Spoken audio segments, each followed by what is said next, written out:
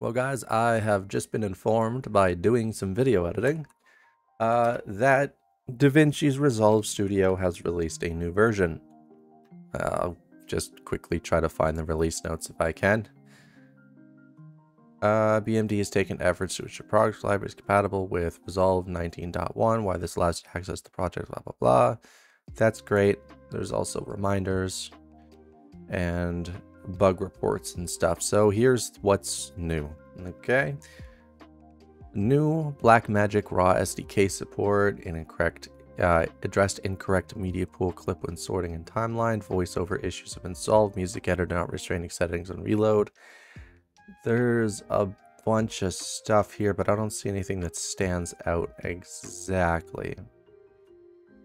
Yeah. I don't know. I wish they would be a little more forward with their um with everything that they do. Yeah. This this has never been true because you know, it's just bull. Yeah. Okay. So let's go to what's new. Let's just click free download, Linux, download only, wait about half a second, and now it's downloading. Then we're going to do the installation and the setup as always because people get really confused on how you upgrade DaVinci's Resolve Studio from one version to the next on Linux. Now that it's done downloading, we can right click it and extract. And just like that, it's done. We can go in here and we can just type, we can just basically right click and hit run at this point, okay? That's only if you're on CachyOS. If you're on Pika PikaOS or Fedora, you're going to have to do a command line thing to get it working, which would be uh, right clicking, open in console, and then you do this.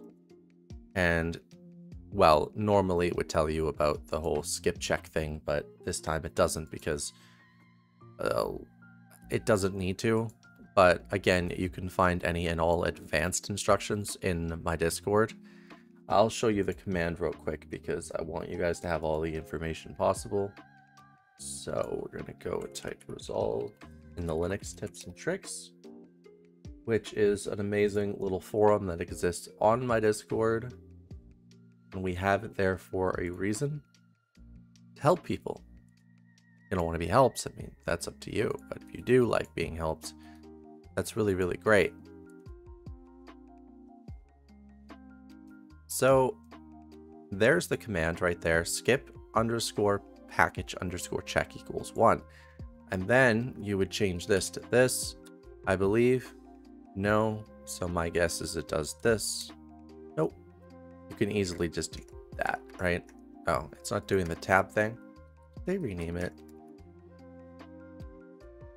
Is it because we're in the other one? All right, well, you could just easily drag and drop. This is why I do not like using uh, console. It's just a really bad application. So uh, CD downloads.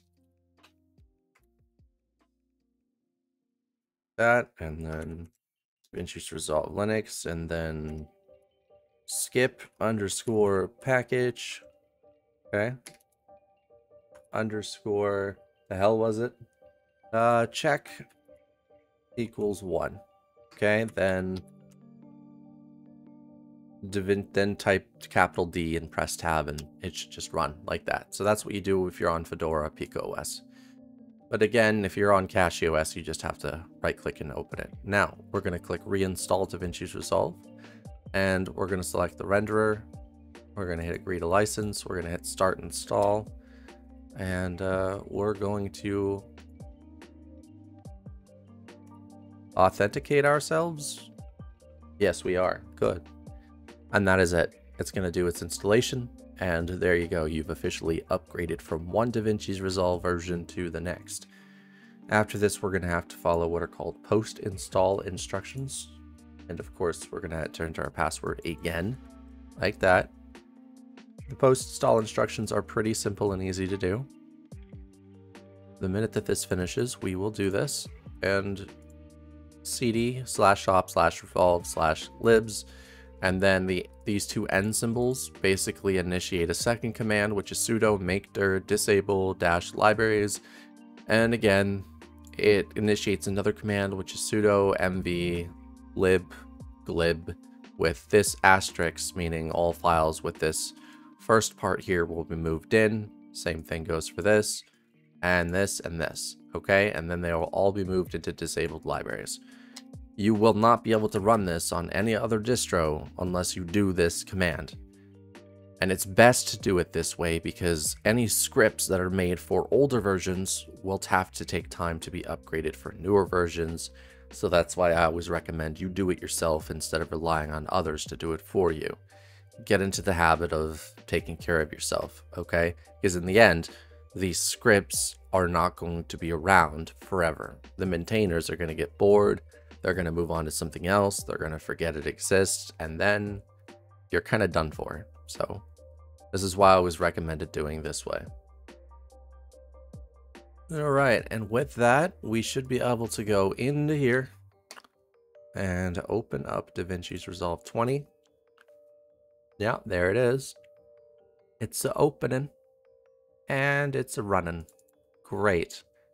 This is awesome news. So if we go into About, you can see that we're running 20.0.1 build 6. I hope you guys enjoyed this video. If you found it informative, don't forget to hit the like button, comment if you need any help.